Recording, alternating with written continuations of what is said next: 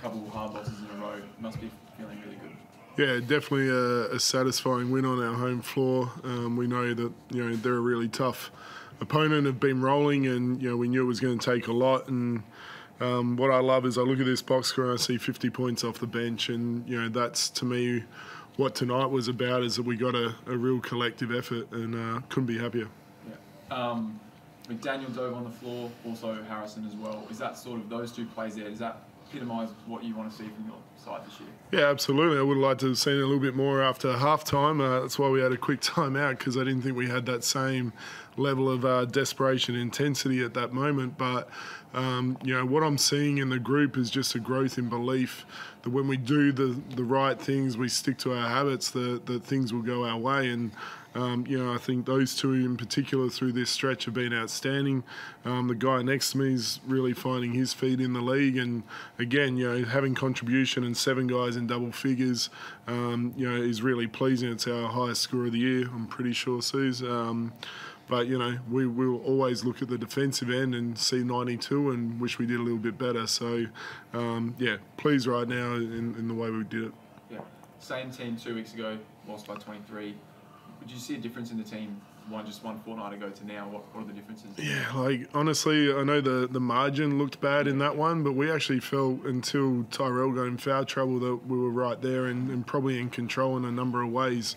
Um, the first quarter in that one, we, we missed so many layups at the rim and um, so we used, I guess, that those learnings to say like we know we can go pound for pound. It's just about finding the advantages more consistently and doing our job better for longer stretches. And obviously, Baynesy being able to come back in and give us some more depth in the, in that position when you're going against a, a Williams is is an advantage for us. So, um, no, really pleasing for him to come in, have the impact that he did. It was definitely sorely missed in that one last time, and you know I just love the resolve of our group. Um, you know when we get challenged and how we go about it. Um, why, why did it take five and a half minutes to get Baynes into the clash? Uh, look, we, we're always going to start Tyrell like he's been doing his job and been outstanding uh, through this patch. Um, we actually were, were, planning to match Rocco up with with Gak uh, for the majority of the night, so he was first sub in. That's kind of how it worked. Um, what I love is Baynesy came up to him and said, "Make sure you give Rocco that one. Um, don't change it up." And uh, you know that's the the beauty of this group right now is that we don't care who starts, we don't care who ends. It's like, are we winning our position as a collective? And you know, time and time again, that's happened. You know. Bano next to me, but DJ I think had his best best game of the year for us as well. And so I look at that position. Creeky was outstanding, but I'm really happy with the two that went against him all night. So um, that's how we'll continue to evaluate ourselves. Josh, how did you enjoy tonight's game, mate? He's really starting to find your feet out in this league. Yeah, definitely. Like my comfort level continues to increase up and get some more games under my belt. Um, super stoked with the result. I think the way the guys got went about it today was we, we, were, we were really good in patches. And now we still need to work on putting together that throughout the duration of the game. But you know that that was a good effort from the group, um, and we were just elite sharing the ball tonight. I felt like. You, um, Justin, would you say this is the best stretch of basketball you've seen from Harrison, or and obviously Josh as well? But starting with Harrison. Yeah, like I've known known Tyrell for a long time and always felt like you know his health was the only thing stopping him from being great in the league, and you know that's something we worked very hard with him in the off season on, um, and continue to do so. And you know, like his data when we were going through recruitment period was jumping off the, the page. So now we knew what we were getting, and what I love about him right now is that he's his consistency's there, and that's what we keep asking of him. And you know, we're not asking him to play 30 minutes. We just need him to be great in his time, and you know, trust that you know we'll be able to get him a rotation when it's when it's suitable. Um, but yeah, he's done a great job through this stretch, and we know he'll continue to do so. Mm. As you started the season, we had a conversation. We said you, you had you found yourself in a bit of a hole at the start of the games. You'd kind of be down by ten or so. In the last two or three games, it's completely a different story. You guys have had a lead. What's been the difference there? Do you think? Like, starting off strong. Yeah, honestly, I think it's Mitch Norton and Sam McDaniel's defensive um, capabilities and accountability. Um, you know, like that's not to say that uh, the changes are solely on them, but you know what it's been able to do for us is we, we can give them assignments. It allows us to, to play the offense the way that we want to at the start and, and continue to grow as the as we make our rotations and go. Um, the other one is is Bano. Like you know we he was our biggest target in recruitment. We knew how important he would be to our offense and defensive structures. Um, having him back in the lineup, you know, definitely has allowed us to have more consistency in the way that we play it. Um, and we, we like the rhythm we're finding with Chris off the bench. Like he's an absolute weapon, um, and that's a big reason we got 50 points off the bench tonight. Is him coming in, giving us contribution consistently, uh, where we felt like we were having lulls at different times. So I think you know, right now we've, we've found a solution, and we need to continue to play that way. Josh, how do you, uh, you know, the shots that you got tonight? Did you like them? Did you get enough shots up? Do you think, or all? Uh, like absolutely, like we're any time we're in a position winning like that, there's never going to be any question about did I, did I get like I'll never that's never a question. Like we, it's the great strength about this team, and Justin talks about it is just the depth and the guys sharing the ball, multiple guys who can score, and that's like that's who we are, and that's our identity, um, and we're going to continue to play that way. Yeah. Made your free throws, mate. That's the main thing. Gave them one off them. All the- Shane, jump in. Yeah, Justin, uh, just a bit more on Aron Baynes. What did you make of his impact on the game tonight and the energy that he brought off the bench?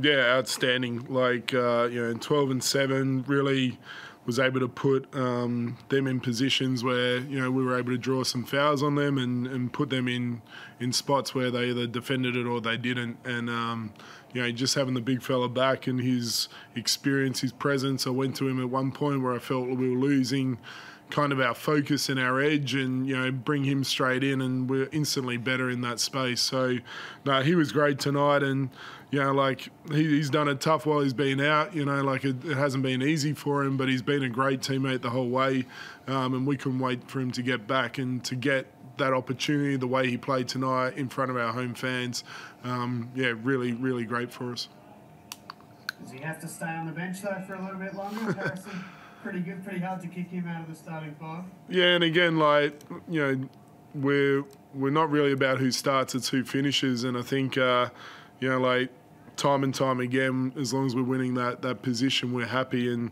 you know, yeah, Tyrell's earned the right to keep that spot for now. Um, Baynesy will keep doing his job. Rocco will keep taking his opportunities, and we feel pretty good about that spot. Chris, did you want to jump in? Yeah, just quickly, Justin, there was a, a tough game to get get the flow going for both teams early. I mean, so many fouls were called, and by the end of the game, I think there was 77 free throws by, by both teams. Is it is it tough to, to coach a game like that when there's so many whistles being called? No, I found it kind of easy because we were just doing a poor job of putting him on the line. You know, like we knew that we could just be a little bit better, keep the game in front, keep our hands out. Like we were going to be in a great position to win the game. And yeah, the frustration was that we continued to put them there. Um, you know, by not doing our early work and putting ourselves in a position of success. But um, yeah, the rhythm did take a while. You know, it's two games in a row. Sobes has had to sit, um, and I guess the you know you look at it and you go, well, other guys have stepped into that opportunity uh, and done a great job for us. So yeah, no, like you know, I was disappointed we weren't up by more um, at quarter times. I felt we had opportunity to, um, but definitely that you know that second quarter um, to stay the course and continue to forge forward was was pretty pleasing. Yeah, at the same time, I, I've, it was strange that Soap's got two at once at the same time as well. So, but that's a, a question for, for, for another another day. Um, just finally, going into Launceston, what are you expecting different from the JackJumpers than what you saw last Sunday Sunday against them? Yeah, like I mean, they've been sitting there all week thinking about the last time we played them, and you know, we know that um, you know even Scott mentioned that the Silverdome hasn't been a, a great place for them. That was actually my place of employment for a number of years, so I'm looking forward to getting back there and so are the boys. But uh, no, we know they're going to be well prepared, um, throw some different things at us, and you know, for us right now, it's about can we just do our job a little bit better. Um, you know, there's there's things that we're going to look at from this one again that we just say, yeah, we didn't have our winning habits in those moments, and you know, once we can put more consistency together, we know it's going to be a really good contest down there, and we honestly can't wait to, to get into it. Thanks, guys. One more for me, Josh. Mate, can you describe the feeling amongst the boys after sort of going through four games L's and then three in a row? Like, can you just describe that feeling? Yeah, it's it's a funny one. Like you you go out and you win the first two games of the season, and you get a win against New Zealand in New Zealand, which has traditionally been very tough to do. Um, and then you kind of you lose a couple, and then all of a sudden it's four in a row, um, and you feel like your backs are against the wall a little bit.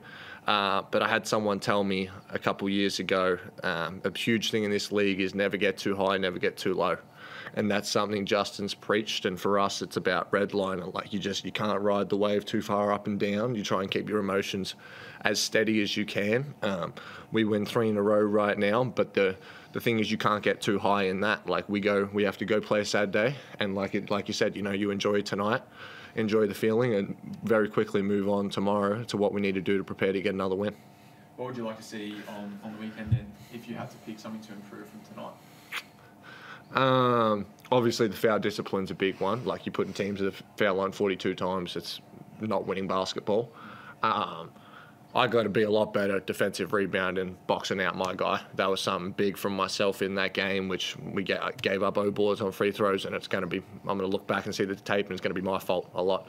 Um, but like you know, there's a couple like there's things we've got to tidy up. Like we did a great job offensively, but like like Justin said, like you give up 92 points, that's too much. Um, so we'll tidy up the defensive end going into Saturday and have a great plan and give ourselves the best chance we can to win. Cheers, Thanks, gents. guys. Thank you. Well done, Bano.